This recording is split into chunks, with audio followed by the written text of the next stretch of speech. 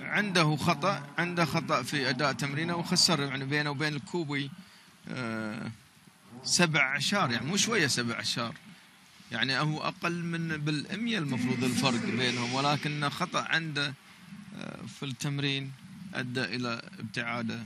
فالحين آه، محسومة تقريبا يعني هي الأول والثاني.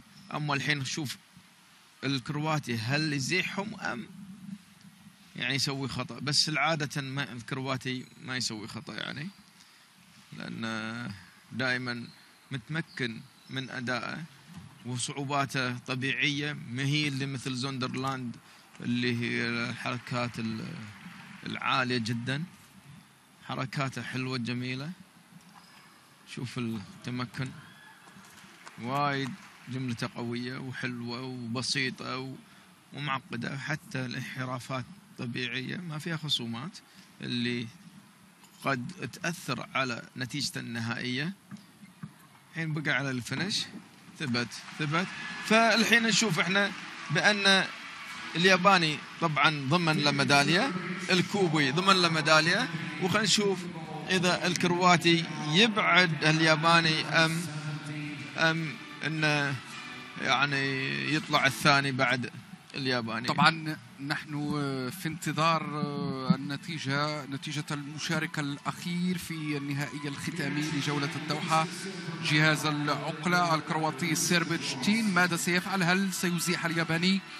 آه، هيدي تاكا آه، مياتشي من الرياضة أم آه، أنه سينال الفضية مكان الكوبي أو البرونزية؟ نحن بانتظار الإعلان عن آه، نتيجة الكرواتي سيربيتش الذي آه، اكتفى بالمرتبة الرابعة في جهاز العقلة هنا في العاصمة القطرية الدوحة خلال بطولة العالم الدوحة 2018 التي أقيمت شهر نوفمبر الأخير لكنه كان بطلا للعالم لجهاز العقلة في مونريال الكندية عام 2017 تين سيربيتش هو صاحب الذهبية 14 نقطة فاصل 400 بدرجة صعوبة أو D score بلغت 6 فاصل آه، 10 إذا الكرواتي يستفيد من أخطاء الهولندي إبكي زوندرلاند في نهائي العقلة الميدالية الفضية والمركز الثاني لليابان عبر آه، هيدي آه، تاكا والمركز الثالث للكوبي المفاجأة في هذا